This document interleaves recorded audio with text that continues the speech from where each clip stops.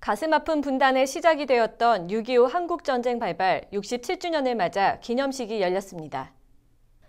초계 같은 목숨을 바쳐가면서 우리나라를 지켰던 6.25 전쟁.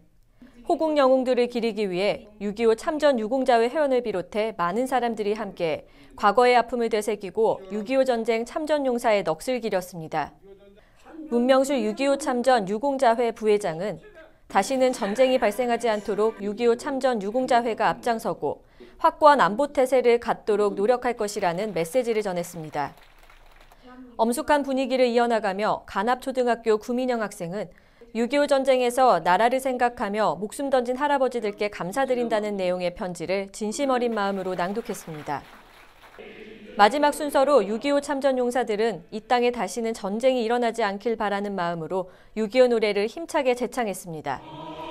6.25 전쟁에 목숨 바친 호국 영웅들이 없었더라면 대한민국의 오늘은 존재하지 않았을 것입니다.